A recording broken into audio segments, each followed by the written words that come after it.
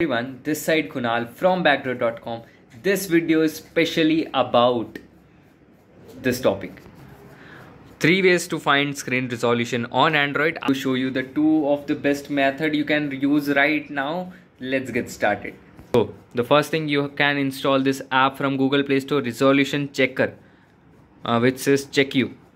But what if you want uh, if you don't want to install any app i will show you next uh, in just few seconds. So simply cancel this and here you would see that it's your device resolution.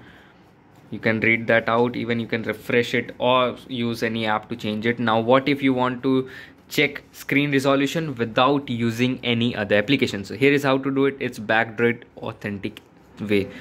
So simply capture a screenshot here so as you can see screenshot has been captured and open the screenshot. Uh, now i'm opening the photos app. Now you can see here is the screenshot. Now simply you have to scroll up for the details.